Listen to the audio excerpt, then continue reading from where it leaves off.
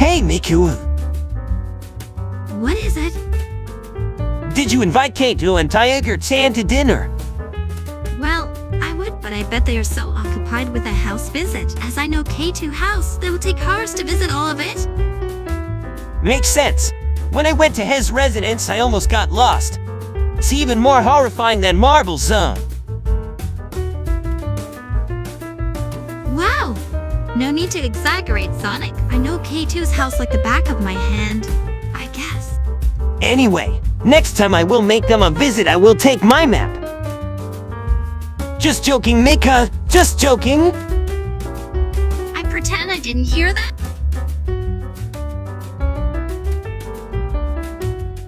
But it would be interesting.